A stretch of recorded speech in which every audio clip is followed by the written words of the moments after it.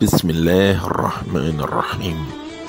Em nome de Deus, o Clemente, o Misericordioso. Assalamu alaikum.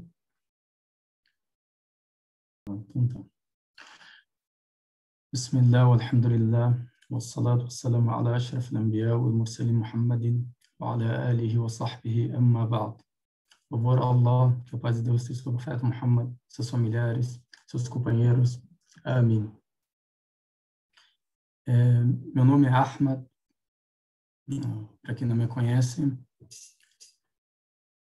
e eu estudei na, na Medina, sou formado na Medina e na Universidade da Jordânia. Eu formei em 2012 na, na Universidade da Jordânia, em 2019 na Medina. Eu sou professor de língua árabe e também estudei Sharia, para quem não me conhece. E a gente sabe, a gente vai ver que tem coisas na religião que é uma obrigação para todo muçulmano. Tem coisas que é obrigação. Agora, se a gente vai falar, por exemplo, sobre a oração, não tem como falar, ah, porque eu sou engenheiro, eu não preciso saber a jurisprudência da oração entendeu? A pessoa tem que saber a jurisprudência da oração, como qualquer pessoa, como um ser, tem que saber da mesma forma. Por quê?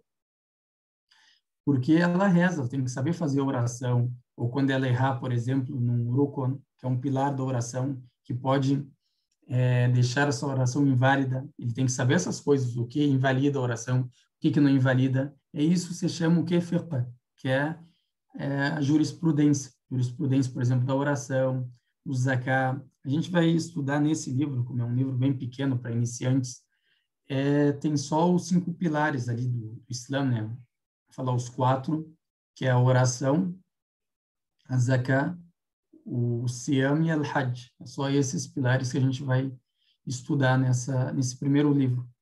Porque sempre para pessoas iniciantes, os sábios, eles ensinavam dessa forma. Depois aí vem outros tipos de estudo, que é casamento, divórcio, a venda, a compra, é, tipo al-hudud, que é tem coisas a ver tipo com assassinato. Então é outra coisa bem delicada, entendeu? Tipo a prostituição, é, o adultério, tudo isso aí a gente estuda, mas não no começo, isso aí é bem depois quando o aluno já entende que é o mais importante, que é uma obrigação para ele saber esses quatro pilares. Claro que a pessoa, quando estuda o muçulmano, vamos falar o, que procura o conhecimento, o aluno do conhecimento, claro que ele vai procurar o conhecimento que ele se beneficia e consegue beneficiar os outros. Mas uma pessoa comum, que ali tipo é um médico, não tem muito tempo, ele vai aprender o básico, que é essas aulas. A gente vai ensinar o básico que todo muçulmano precisa. Sendo sheikh ou não, ele precisa saber essas coisas para fazer sua oração corretamente, al-hajj corretamente, o zakah, porque a gente vê que tem muitos irmãos, às vezes, até o udu ele não sabe fazer corretamente, ele acaba errando. E tem algumas coisas até no udu, se tu não fizer, o seu udu não é válido. Então, é uma coisa é muito delicada, a gente pode falar assim, entendeu?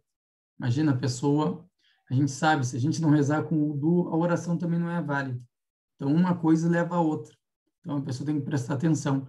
E a primeira dos capítulos, né, o primeiro dos capítulos que a gente vai estudar é sobre a purificação, que é do livro, né, que a gente vai estudar. Isso a gente vai ver também que não é só nessa escola, e sim no geral.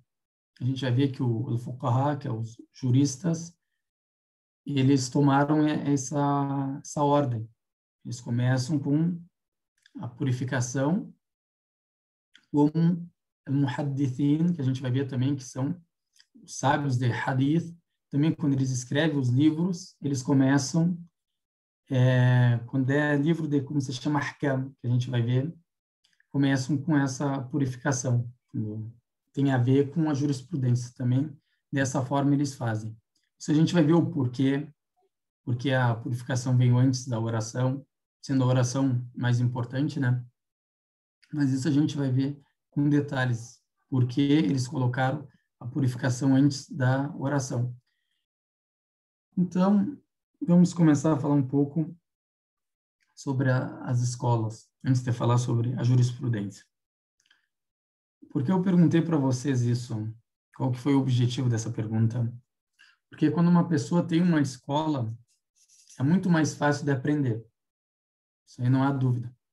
Por exemplo, uma pessoa que é Hanafi, quer aprender uma outra escola, vai ser muito mais fácil para ele. Por quê? Porque ele já tem uma noção, ele já sabe como funciona uma escola, e vocês vão ver, vão ver que não muda muita coisa uma da outra, a não ser as opiniões. Cada um tem uma opinião e às vezes eles concordam. E também tem a pessoa que tem uma escola, fica mais fácil dela decorar essas opiniões. Por exemplo, quando ela vai fazer, por exemplo, o do, ela sabe, por exemplo, que eu como chefe nessa, nesse assunto do, do será que ele precisa de intenção ou não, eu sei que, por exemplo, quem é Melik concordou comigo nesse assunto. Quem é Hanbali concordou comigo nesse assunto. E sei que o Hanafi, nesse assunto, ele discordou. Ele teve outra opinião. Entendeu? Fica até mais fácil para o aluno aprender a escola, é, entender melhor, decorar as opiniões da outra escola, como foi esse exemplo.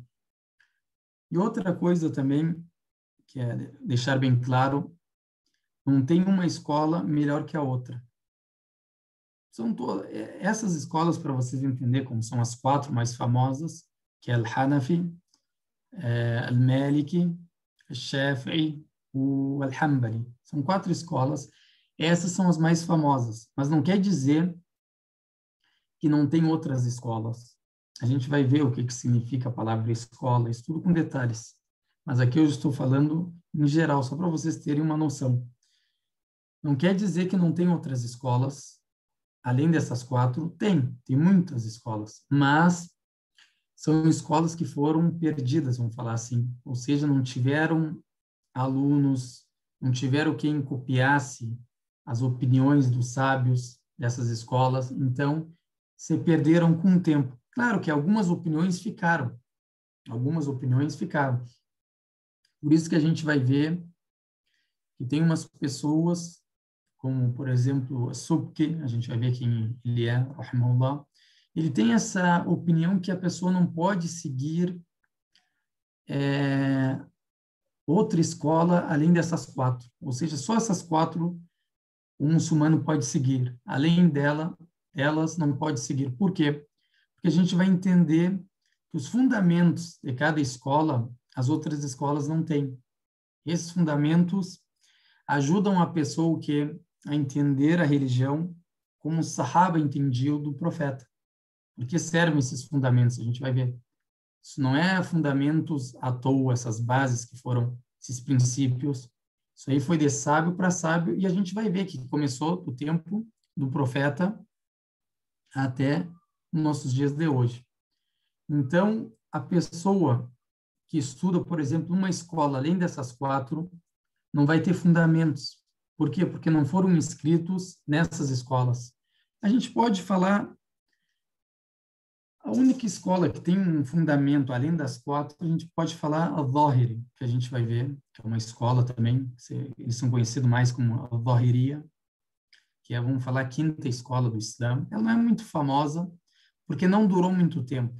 Ela, ela foi do ano ali, mais ou menos 200 do Hijri até mais ou menos 500. Depois ela deu uma sumida, vamos falar, sumiu. E hoje a gente não vê nenhum seguidor dela, a não ser algumas pessoas. Algumas pessoas, poucas pessoas, que seguem essa escola. E também essa escola a gente vai ver, para seguir uma escola assim, como ela tem muita diferença com as outras escolas, principalmente, a pessoa pode seguir em si. Por exemplo, eu, como um estudante do conhecimento, adquirir um grande conhecimento, por exemplo, eu posso falar, tipo, eu sou Lohri, ou seja, eu sou, eu imito, eu sigo essa escola. Pode ser, mas eu não posso fazer, em muitos assuntos, fazer fatwa. Por quê? Porque se eu fazer fatwa em alguma, alguns assuntos, se algumas pessoas me perguntarem, é uma coisa bem distante das outras escolas e do que as pessoas se acostumaram a escutar. Vai vai trazer entre os muçulmanos tentações, problemas, brigas. Então, o certo é se afastar dessas opiniões que a gente vai ver que não é toda opinião da escola que é aceita. Mesmo estando nos livros, a gente vai ver que tem muitas opiniões que não são aceitas. E a pessoa, a gente vai ver que tem muitos sábios de algumas escolas, eles acabam em alguma, alguns assuntos pegando a opinião de outra escola, porque a evidência da outra escola é muito mais forte que a evidência da própria escola. Isso é uma obrigação para ti. Se você é um sábio, tem o conhecimento de saber e ver que essa evidência é mais forte que a evidência da sua escola, tem a obrigação de deixar essa evidência sendo sábio. Sendo uma pessoa comum, ele segue o que está na escola, o que, que os sábios falaram, a fato que eles fizeram. Outra coisa que é importante a gente saber, como eu falei para vocês, essas quatro escolas foram as que permaneceram. E seguir essa, essas quatro escolas, não há divergência entre os sábios que é permitido. É uma coisa, vamos falar, mubah. Não há jaiz, não, não há divergência que é permitido. Qualquer muçulmano a seguir uma dessas quatro escolas. Até como fala o Ibn Hajar al-Haytami, até se for por tashahi. O que, que isso significa? Por desejo. Por exemplo, eu gosto do nome Abu Hanifa, eu quero seguir por causa disso. Não há problema nenhum, essas quatro escolas. Até por desejo, ou eu vou seguir o chefe porque ele é da, da descendência do profeta. Então, eu vou seguir por causa de, disso ou seja, por um desejo pessoal. Não há problema nenhum nessas quatro escolas. A pessoa escolher qualquer escola que quiser. Depois a gente também vai ver que também não há problema da pessoa trocar de uma escola para outra. Não há problema porque isso os sábios fizeram.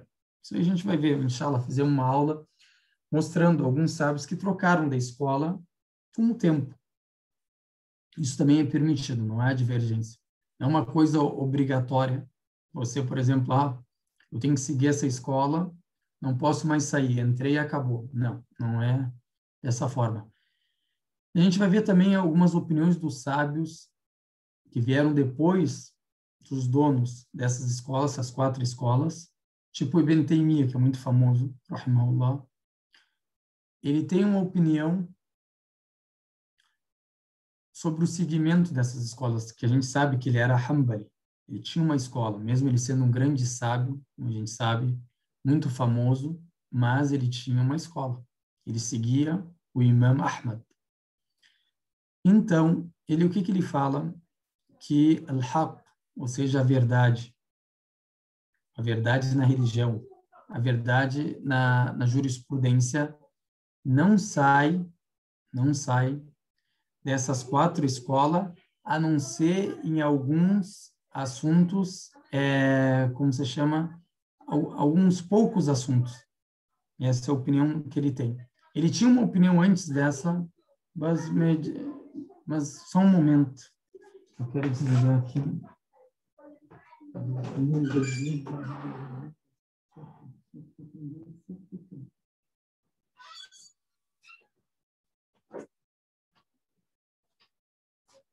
Me desculpe, né, as crianças. É, voltando a falar, então, o Ibn Taymiyyah, ele tinha essa opinião, e a gente ver muitos sábios também têm essa opinião, que a verdade na religião não sai dessas quatro escolas.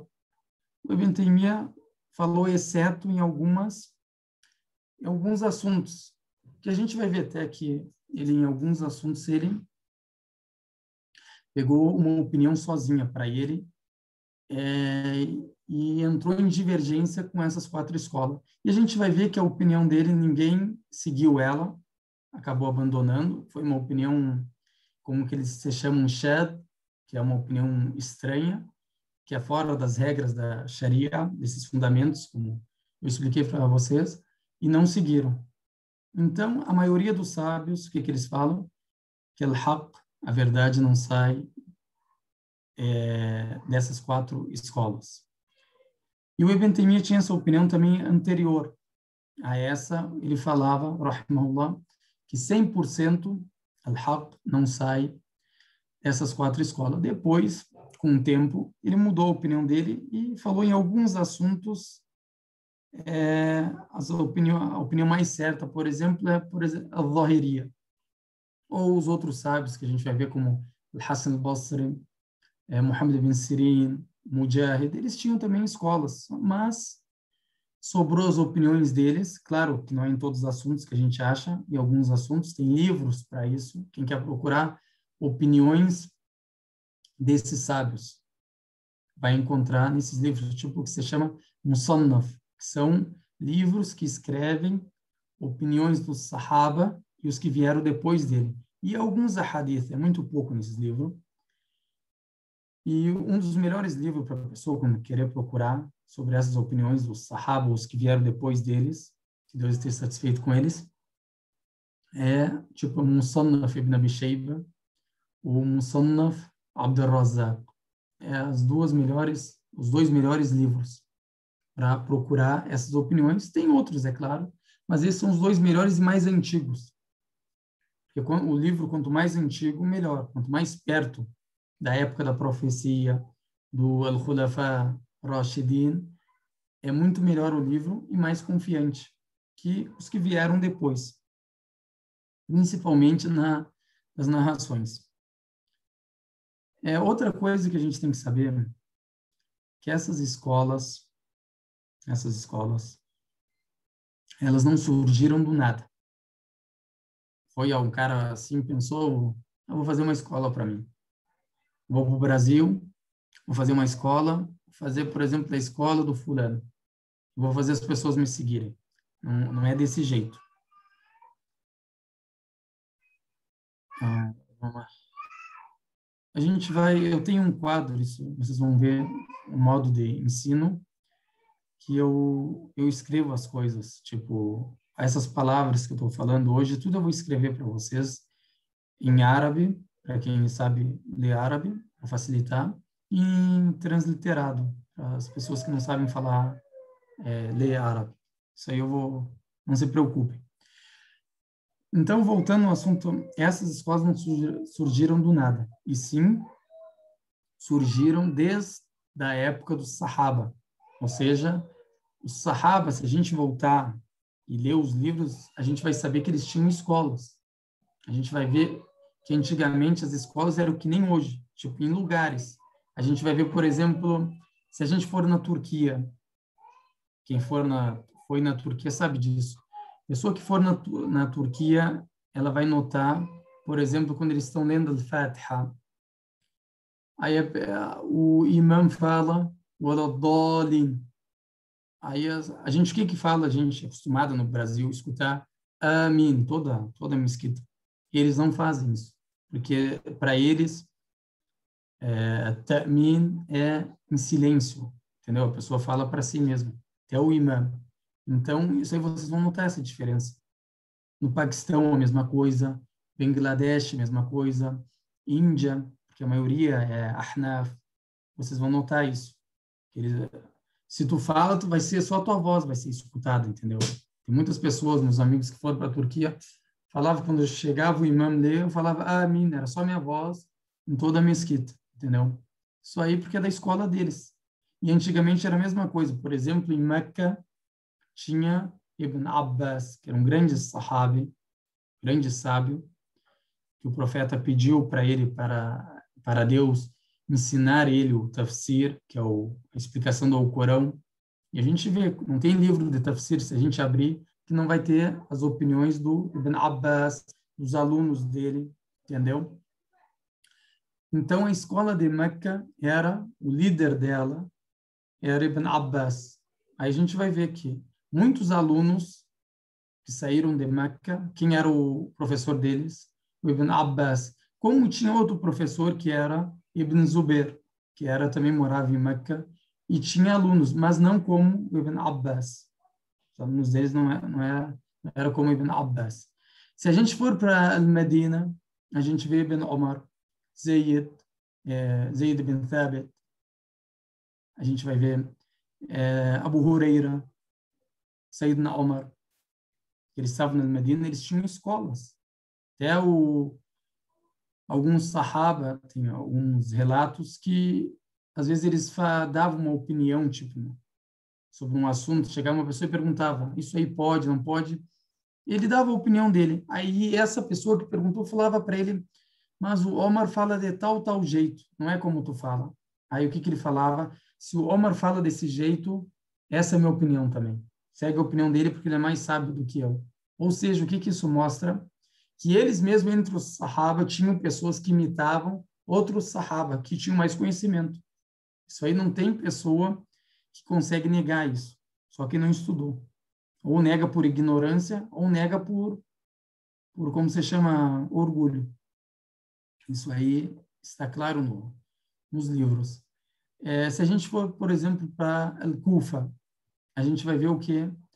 Que lá estava o Abdullah ibn Mas'ud, que era um grande sábio do Sahaba. A escola dele permaneceu lá. Os alunos dele transmitiram as opiniões deles que chegaram, a gente vai ver que essas escolas têm sanad. Isso que é o mais importante no Islã, que é sanad. Para quem não sabe o que é sanad, é um relato que vem de uma pessoa para outra. Ou seja, desde o profeta vem esse relato até chegar a nós. Como o Corão. O Corão a gente chama ele de mutawatir. O que, que é isso? Não foi uma ou duas pessoas que narraram o Corão dessa forma. Milhares e milhares de pessoas narraram dessa forma. Agora, se tu pega uma sanad, vai ter entre você e o profeta, que a paz de Deus é sobre ele, 30 pessoas. Isso é uma cena nesse tempo que a gente vive é muito boa. Tem cenas que tem 32, 33. Se tu conseguir uma cena, o Corão, quando decora, você dá uma cena. Tem 30 pessoas entre tu e o profeta. Tem umas que até 29. Tem um amigo meu que tem até 29. Entendeu? Ou seja, tem 29 pessoas até chegar até o profeta, do profeta do anjo Gabriel e do anjo Gabriel para Allah subhanahu wa ta'ala. Entenderam? Então, nossa religião é a religião de Sanad, como Muhammad bin Sirin falou, e o outros Salaf. Então, como que, tipo, a escola, se a gente voltar à escola do Abu Hanifa, que é a primeira das escolas, né? Ele nasceu no ano 80 e faleceu no ano 150, Abu Hanifa. O Hanifa, se a gente vê a escola dele, a gente vai ver que como chega até o profeta a escola do Abu Hanifa. O Abu Hanifa, quem é o chefe do Abu Hanifa? Hamad ibn Abi Sulaiman, é o chefe dele. Hamad, quem é o chefe do Hamad? Alqama. Alqama é o chefe do Hamad. É, não, desculpa. Ibrahim al-Nakhai. É o chefe do Hamad ibn Abi. Ibrahim al-Nakhai, quem é o chefe dele? Alqama. Ou Al-Aswad. Os dois são tio dele. Alqama é o tio paterno e o Aswad é o tio materno. São dois sábios alunos do Abdullah ibn Mas'ud. Ele pegou o fiqh, o hadith deles dois. Esses dois pegaram de quem? Do Abdullah ibn Mas'ud. O Abdullah ibn Mas'ud pegou de quem? Do profeta. Viu onde chegou a escola da Hanafiya? Chegou até o profeta. Todas são assim.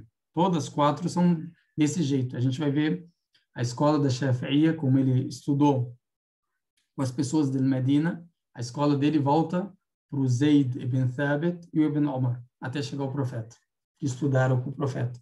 Então, essas escolas, elas têm sanad, o quê? Um possed. Isso é importante para aprender conhecimento. Você aprende conhecimento com sanad. Não se aprende conhecimento de qualquer pessoa que vem falar para vocês, isso aqui é a opinião certa, eu sou salafi, eu sou não sei o quê, começa a dar esses nomes para enganar as pessoas, para para as pessoas acharem que eles são o que é Salaf, que eles seguem. E, na verdade, eles não seguem o Salaf, porque eles não têm nem Sanad.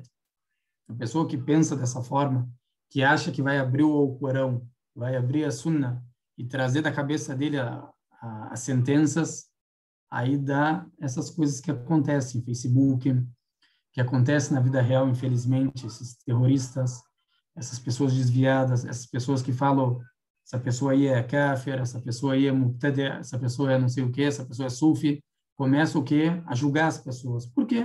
Porque não tem conhecimento, e a maioria dessas pessoas pode ter certeza. Mais que 95% dessas pessoas, vocês podem ter certeza, que são pessoas que não têm sana, não têm escola, não têm diretriz, não têm doutrina alguma. É o que ele acha certo. Ele leu o Corão do jeito que ele acha e pratica. Até a gente vai a gente viu em algumas coisas, até às vezes na, na televisão, trazem as pessoas é, que são contra o Islã gostam, gostam de notícias assim, né? Por quê?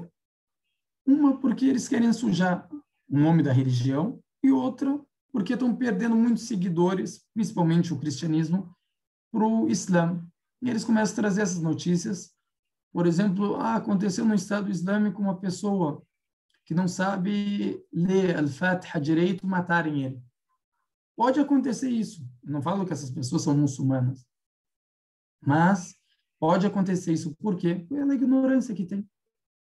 Essas pessoas aí não têm escola, é, não sabem o nome de livros também, estudam na cabeça deles, pegam o Corão e seguem. Por isso, a maior, o maior desvio para o muçulmano é querer pegar o Corão e entender como ele quer, sem nenhum sábio.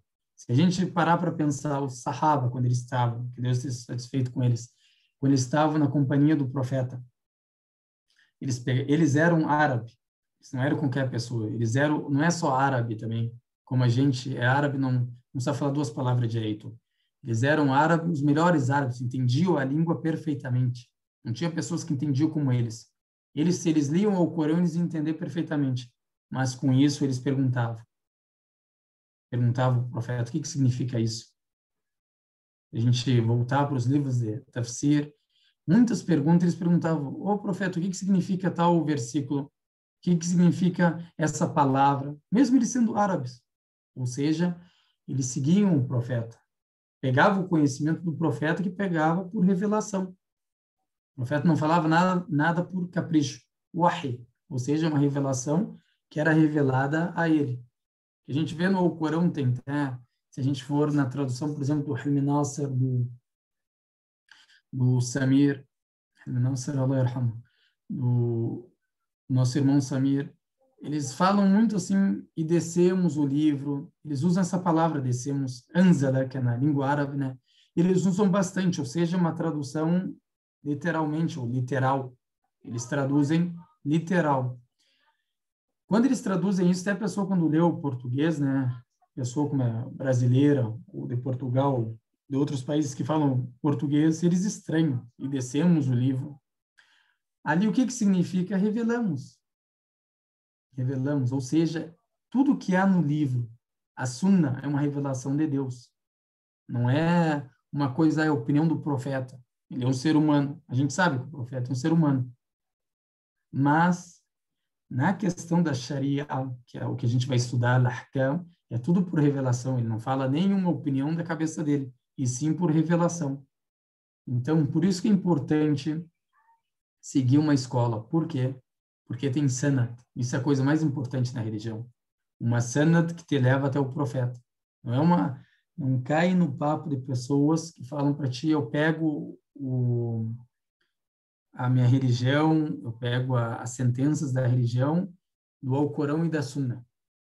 Isso aí é, usam essas palavras para enganar. Essas pessoas pegam da onde a escola? Pegam do, dos livros dos, por exemplo, idólatras. Claro que eles pegam do Alcorão e da Sunna. Por isso que o entendimento deles era muito maior que o nosso entendimento. Isso aí a gente vai ver. É, tem um, um athar. Athar é uma para vocês saberem essa palavra, é, significa quando é narrado de um companheiro do profeta, ou um companheiro do companheiro do profeta, se chama Athar. E tem uns que até usam para o profeta, tem divergência entre os sábios, mas o mais usado é para quando você quer falar uma opinião de um companheiro do profeta, uma opinião de um companheiro do companheiro do profeta, que é o tabi'i, entendeu? Aí usa a palavra athar. O que que fala o Sayyidina Omar nesse athar? Ele fala, aprendem, tá? ta'allamu, ou seja, aprendem a arabia, ou seja, a língua árabe. Fa'innaha min dinikum. Ela faz parte da religião de vocês. Isso aqui ele fala para todo mundo, árabe, estrangeiro, porque até os árabes precisam aprender a língua árabe. Isso é importante para todo aluno do conhecimento que quer procurar o conhecimento, quer saber a sua religião, quer aprender a palavra de Deus, que Deus revelou para a gente. Tem que aprender a língua árabe. Porque, se vocês perceberem, a única religião que lê o livro como foi revelado é a nação do profeta Muhammad. Que paz de Deus seja sobre ele. Única. A gente lê. Até as pessoas vezes perguntam para nós: é, por que vocês leem em árabe? Por que a oração, por exemplo, em português não é válida? Por que tem que ser em árabe? Qual, a, qual que é a resposta para isso? Se a gente lê em português, a gente está lendo o quê? Palavras, sentidos do Helm Nasser. Porque o Alcorão em português não existe Alcorão em português. Existe sentidos do Alcorão em português, é isso. Não existe tradução do Alcorão. Não tem como uma pessoa traduzir o Alcorão. Ela traduz o que? Sentidos do Alcorão.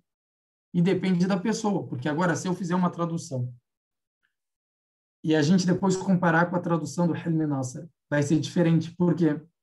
Porque ele pegou algumas opiniões de uns sábios que explicaram o Alcorão e eu vou pegar outras opiniões. Não tem como a gente concordar em tudo. Vai ficar diferente. Vai ser o mesmo versículo, o mesmo a, a mesma sura, o mesmo versículo, mas vai ter alguma alguma coisa diferente, alguma palavra ou o entendimento do versículo vai ser diferente. Por quê?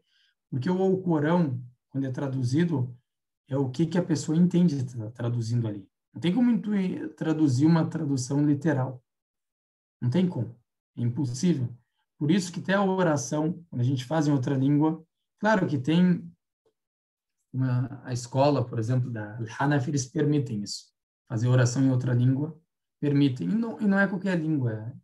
É Faricia, que é urdu, né? porque é, é perto da, da língua árabe, eles permitiram. E também tem condições, não é assim, na escola permitiu e acabou. Não, tem condições.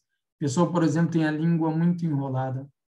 Às vezes a gente, como é, estando no Brasil, a gente vê isso. Vezes, quer ensinar uma pessoa Al-Fatiha fica dois meses, a pessoa não aprende, não tem jeito nenhum. Fala para a pessoa, fala Alhamdulillah. Fala uma coisa totalmente diferente, não consegue nem imitar ela. Então, é uma pessoa que não tem capacidade. Tem outros sábios que falam que ele faz tasbih, fala Subhanallah, Alhamdulillah, como não consegue ler o Alcorão. Isso aí a gente vai estudar com detalhes, inshallah. Então, que, por isso que é importante a pessoa aprender a língua árabe para compreender a religião. E compreendendo a religião, a pessoa está compreendendo o que? A palavra de Deus, que é a coisa mais importante na vida do ser humano. Por que Deus me criou? Essa é a pergunta mais importante. O dia mais importante da sua vida é quando você descobre por que você foi criado. Não tem dia mais importante que esse dia. É aquele dia que tu sabe por que da sua existência. Por que eu estou aqui? O que, que eu estou fazendo nessa terra? Isso como que você vai saber? Lendo a palavra de Deus. E a gente sabe também, principalmente na língua portuguesa, tem muito pouco material. Muito, muito pouco. Quase nada. Até no inglês é muito. Comparando com a língua portuguesa, é muito no inglês. Mas se a gente vai comparar o inglês com a língua original, que foi escrito esses livros como árabe, não chega a nenhum por cento o que foi traduzido hoje, para vocês terem uma noção. Cada dia acha um livro novo, um manuscrito novo. Cada dia é imprimido livros e livros, para vocês terem uma noção. Então, a pessoa tem que focar naquilo que beneficia ela. E a língua árabe não é um, um grande obstáculo como algumas pessoas às vezes imaginam, desistem. Porque se a gente parar para pensar o que, que a gente gasta de tempo por exemplo, esse telefone. O que, que a gente gasta de tempo? Se a gente falasse assim, olha, até o YouTube tem uma coisa legal que ele mostra ali para ti, quanto tempo tu fica assistindo. Tem uma, uma configuração que tu entra ali, ele fala, olha, essa semana tu ficou 48 horas. Imagina dois dias é, olhando o vídeo no YouTube. Eu não falo para ti dessas 48 horas que tu ficou no YouTube, só pega duas horas por semana dessas 48 horas que tu ficou. Fica 46. Tem problema, fica 46 horas. E pega duas horas e deixa para o conhecimento, para te aprender alguma coisa nova. Não quer aprender língua árabe? Aprende língua inglês. Aprende outra coisa que vai te beneficiar. Em vez de ficar 48 horas no, no YouTube. Isso é pouco, ainda tem pessoas que ficam mais que 60 horas. Eu vi algumas pesquisas, uns estudos que mostram, até nos Estados Unidos, ficam mais que 60 horas por semana. Imagina, metade da semana no YouTube olhando vídeos. Imagina se a gente vai contar indo Facebook, Instagram e outros programas que tem, WhatsApp. Quanto tempo a gente perde na vida é, nesses programas? Então, a pessoa tem que é, como se chama, se preocupar com aquilo que beneficia ela nessa vida e na outra. Aqui eu anotei algumas coisas que eu queria falar. Começar a aula hoje para a gente se conhecer um pouco, mas também para a gente saber o que, que significa, o que, que a gente vai estudar, isso é importante. Até para vocês saírem hoje da aula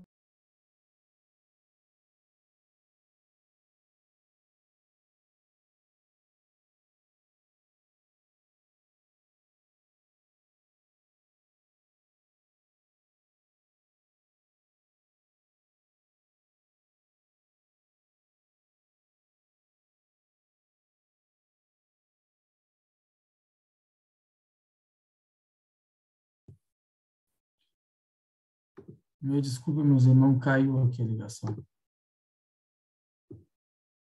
Estão me escutando? Voltou o som. Ah, me desculpem, é a primeira vez que eu uso esse programa para falar a verdade para vocês. Eu até fiquei, antes da aula, eu fiquei quase uma hora mexendo para aprender. Então, me desculpem. É, aqui. Então, a gente vai falar um pouco da, do que, que significa o que fiqh. O que, que significa essa palavra na língua árabe e também na religião, quando a gente escuta. Muitas pessoas que é a primeira vez, isso é normal, escutar essa palavra. O que, que significa fiqh? Isso é muito usado nas aulas acadêmicas. Sempre a pessoa vai escutar isso.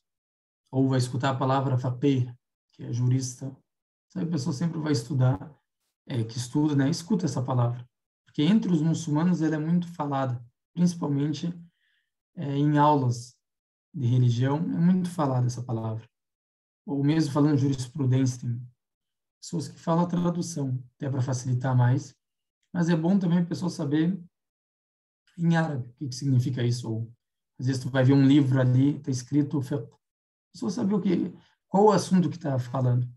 A gente também sabe que jurisprudência nossa é tirada do Alcorão e da Sunna. Agora, um país islâmico, como que é, por exemplo, as leis desse país, que é a Sharia, né? O que, que é Sharia? É a mesma coisa que a jurisprudência que a gente vai ver. Da onde são tiradas essas leis? Qual que é a fonte? Como se a gente for, por exemplo, para os Estados Unidos. São leis diferentes do, do Brasil ou de outros países. Por quê? Porque cada um tem um congresso ali e eles fazem as leis. São pessoas que fazem as leis. Mas nós somos diferentes. Quem faz as leis para nós é Deus Altíssimo seja.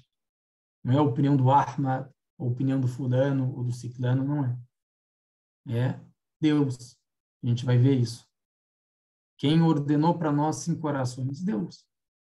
Não é a gente se juntou ali, olha, nós como muçulmanos, eu acho que é, o dia fica muito longo assim, vamos fazer cinco orações, tá bom. Não vamos fazer mais, porque é por causa do dia, para a pessoa ter um, um lazer. Não é assim. E sim, Deus ordenou essas cinco orações. ordenou o zakah, ordenou al-hajj, e tudo isso tem um propósito. Claro que isso não é o, o assunto das nossas aulas, não vamos estudar isso, mas inshallah um dia a gente pode estudar que se chama al-maqasid. O que é al-maqasid? E o que é Sharia que é de nós? Por que essas orações? Por que a gente reza? Entenderam? É porque o, a punição de quem rouba é tão dura. Isso tudo se chama, no, conhecimento islâmico, al-maqasid. A pessoa saber o porquê disso. Quando ela entende isso, ela vai entender quando uma pessoa fazer perguntar para ela um assunto, ela vai saber como responder se, se, se essa pessoa, por exemplo, é brasileira, se essa pessoa é de Portugal, se essa pessoa é da Inglaterra, ela sabe responder para essa pessoa, como sabe responder para essa, mesmo que a fato é diferente uma para a outra. Por quê? Porque ele entende como que se funciona aquele país. Por isso que a pessoa, o jurista, ele tem que saber disso. Ou o juiz, jurista, né? O juiz ele tem que saber essas coisas antes de fazer fatwa. Por exemplo, igual o Imam Malik, rahimahullah, ele era da Medina. Ele era o imam da Medina, da al-Hijra, né? Que é chamada, porque a imigração foi para ela. Então ele era o imam da mesquita do profeta, ensinava na mesquita do profeta e ninguém fazia fatwa e o Malik na Medina. Imagina, quando ele estava presente na Medina, ninguém fazia fatwa, pelo conhecimento que ele tinha. As pessoas saíam de Marrocos, saíam da Argélia, saíam da Tunísia para ter um Melik, conhecimento, perguntar para ele. Ficava às vezes um ano esperando para chegar na Hajj, ou anos para perguntar para ele. E uma vez perguntaram para eles, para ele, 56 perguntas. Tem narrativas que falam 44. Falam que ele não respondeu nessa narrativa, não respondeu mais que cinco. Outras falam só dez ele respondeu. O resto ele falou não sei, não sei, não sei. E ele que é famoso pela pela como que é que é famoso entre as pessoas a, a frase dele que ele fala Adri. Ou seja, aquela pessoa que falou eu não sei, acabou de fazer fatwa. Pela humildade dela vai ter recompensa, inshallah, uma pessoa que fez fatwa, que guiou as pessoas para o certo. Por quê? Porque ele sabe, ele sabe quem é ele, ele sabe a capacidade dele. Como os sábios dizem, aquela pessoa, isso é em todas as escolas, aquela pessoa que for perguntado uma coisa e ele ignorante, sem desinformado nesse assunto que foi perguntado, e fazer a fatua e acertar, ele ganha pecado. Viram até onde ganha pecado. Por quê? Porque ele falou sem conhecimento.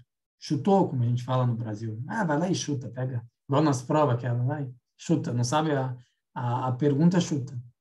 religião não é assim, chuta. Religião é, é temor a Deus. Porque uma das condições para Deus dar conhecimento para a pessoa e que Deus fala? Temem Deus. Deus fala no Surah Al-Baqarah que Deus vai ensinar vocês. O que que ele fascina? Quem explicar esse versículo, o que, que ele falou, eles falaram? Falaram, a taqwa é uma das condições para a pessoa adquirir o conhecimento. Sem a taqwa não há baraka, não há não há dádiva, não há não há favor, não há bênção nesse conhecimento adquirido. Às vezes a gente vê, eu estudei muitas, muitos sheikh, muitas universidades com frequentei. Às vezes tu vê uma pessoa que tem conhecimento que nem um oceano, tanto conhecimento, mas ninguém ninguém fala com ele, porque às vezes mau caráter, mal educado, se acha, as pessoas nem se aproximam dele. Ou seja, não é abençoado esse conhecimento. E às vezes vocês vejam, é, veem pessoas que têm pouco conhecimento, mas têm aquela tábua piedade, pessoa crente, educado. Tu vê muitos alunos em volta e tem pouco conhecimento, mas o pouco que ele tem, Deus abençoou. Ou seja, um vale mais um conhecimento, vale mais pouco conhecimento abençoado do que muito, muito conhecimento desabençoado. Isso é uma regra que os sábios falam.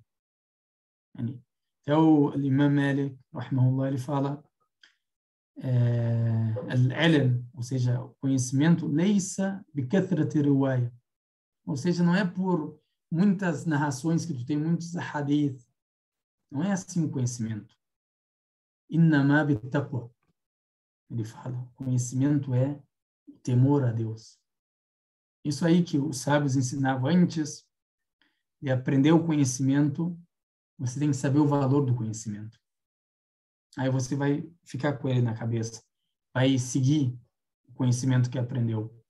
É uns irmãos nossos da Sofia, Sofia aqui que eu falo, tasawuf, o certo que tinha no tempo do Sahaba, do, do Salaf, que aquele tasawuf de deixar a vida por causa da akhirah, da vida do além. Abandonar essa vida, não se apegar muito nessa vida. O que, que eles, fa eles faziam com os alunos? Iam estudar com eles. Primeira coisa, eles ensinavam adab, a boa conduta para o aluno. Não é o conhecimento, eles não abriam o livro como a gente. Vamos estudar. Ensinava adab. Antigamente, a gente ia procurar o conhecimento, chega a ser. O que, que ele fala? Fulano, é, a mesquita, ali os tapetes estão sujos, vai limpar os tapetes. Ia lá o aluno, limpava. Depois ele falava, fulano, os alunos estão com fome, vai trazer comida para eles. Aí esse cara que conta a história, ele é um egípcio, um cheiro, aí ele fala, fiquei todo dia assim, segundo dia assim, depois de uma semana a mesma coisa. Eu falei, cheiro, eu vim aqui aprender o conhecimento. Tu vai me fazer trabalhar, limpar as coisas, buscar comida, levar, lavar louça. Eu não vim para isso. Aí ele falou para ele, ô oh, meu filho, o Sheikh falando para ele, o primeiro conhecimento é adab. Então, se vocês notarem na nossa religião, se vocês juntarem todos os hadith, o que, que você vai entender da religião do Islã? Foca no quê? No adab. Conhecimento em segundo lugar, dentro da religião.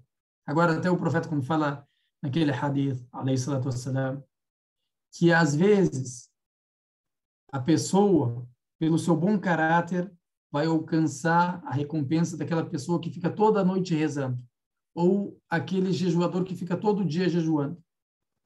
Por quê? Pelo seu caráter. Às vezes vão ter pessoas no paraíso que vão ter grandes lugares, perto dos profetas, perto dos uh, salihin, dos virtuosos, por quê? Pelo caráter. Quando perguntaram para a mulher do profeta, Aisha, o que, que perguntaram para ela? Como que é o profeta? Descrição dele, querem saber. Se perguntasse para nós do fulano, o que, a gente fala? É um grande sábio, fala muito bem, não sei o que. A gente, a gente fala dessa, responde dessa forma. O que, que ela falou? É o Corão andando em cima da terra. Ele fez a, comparou ele com o Alcorão. É o Alcorão em carne e osso andando em cima da terra. O que, que ela quer significar com isso? Caráter da pessoa. Caráter é a coisa mais importante, não só para o aluno do conhecimento, para o muçulmano. As pessoas não entraram no Islã por causa da espada. Botem isso na cabeça. Isso aí que falam na mídia, quem leu um pouco da história islâmica, não falo muito, pouco, quem tem pouco conhecimento na, escola, na história islâmica sabe disso. Que as pessoas entraram pelo caráter dos muçulmanos. A Indonésia, que é o maior país muçulmano, maior país, e é a escola que a gente vai estudar que é onde está essa escola, Shafi'ia, que a gente vai estudar, que é o maior país que tem essa escola, que segue essa escola.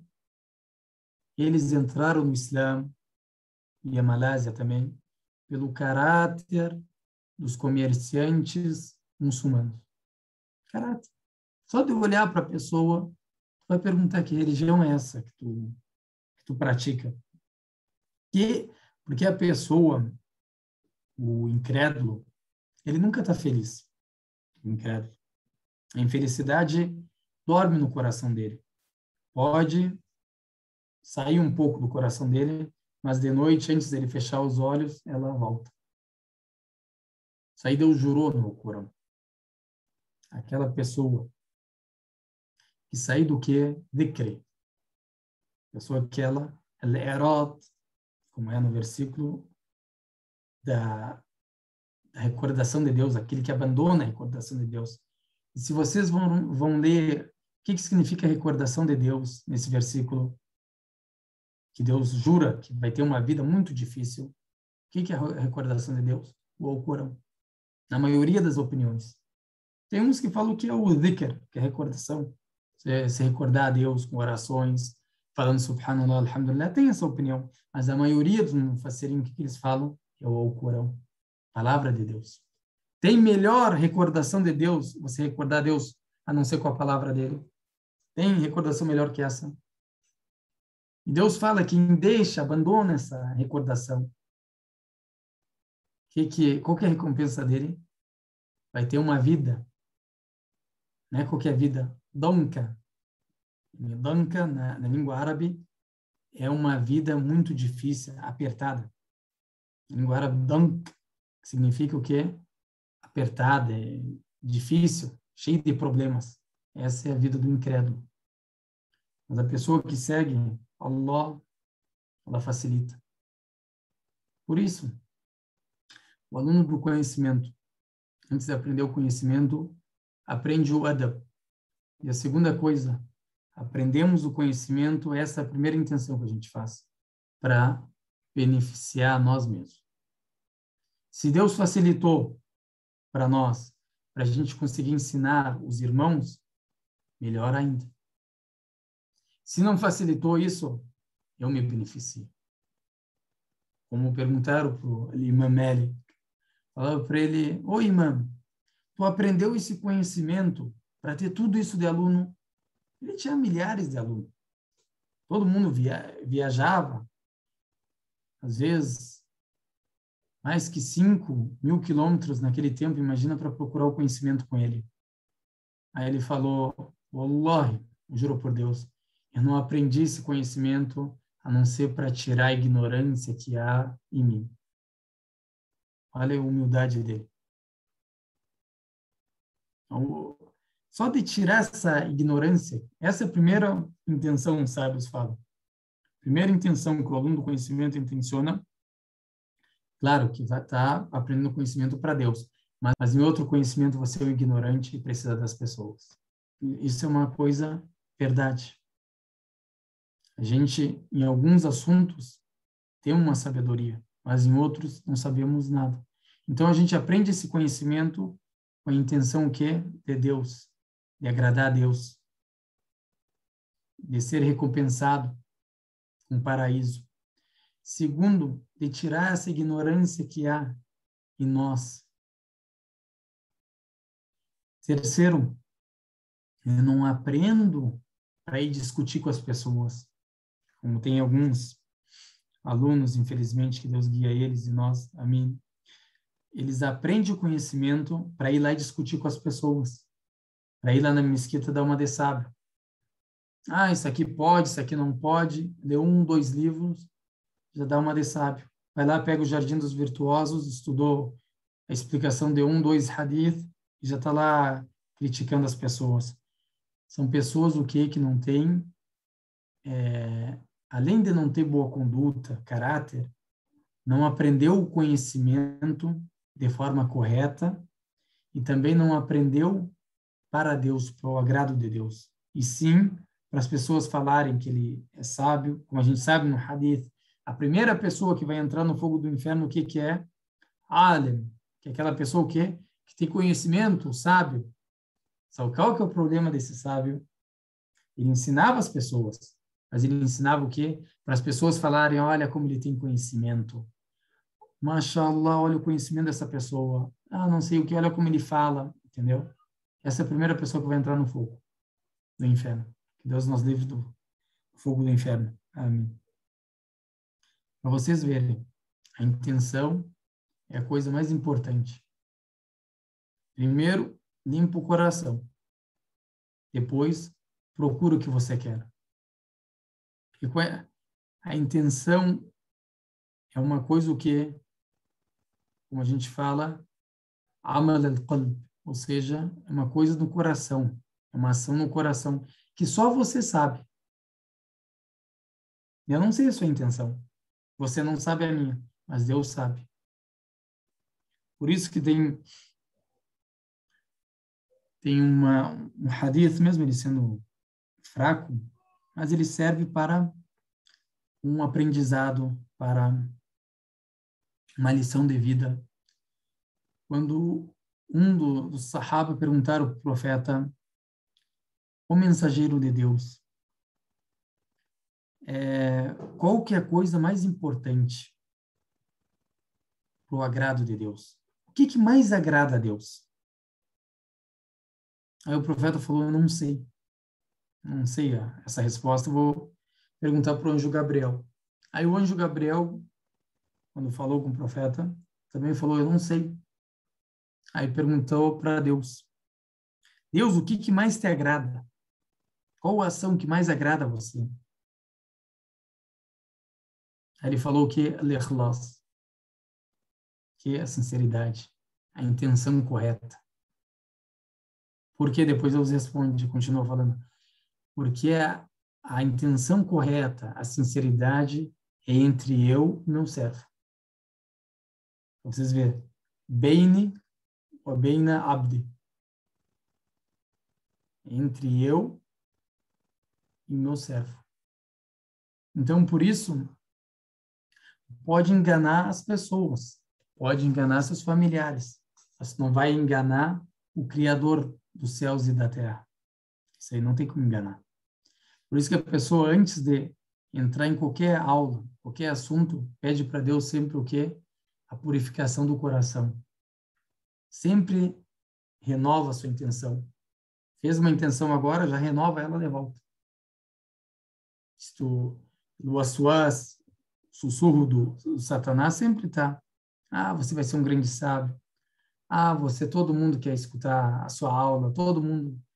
A pessoa sempre tem o quê? Pedir sempre refúgio em Allah sobre esses sussurros. Foi um prazer, meus irmãos, que Deus nos abençoe, perdoe nosso pecado, é, nos livre das tentações desse mundo e nos dê sempre sinceridade, inshallah. وصلى الله على سيدنا محمد وعلى آله وصحبه وسلم والسلام عليكم ورحمة الله وبركاته Luz, paz, conhecimento para todo o Brasil. Conheça o Islã.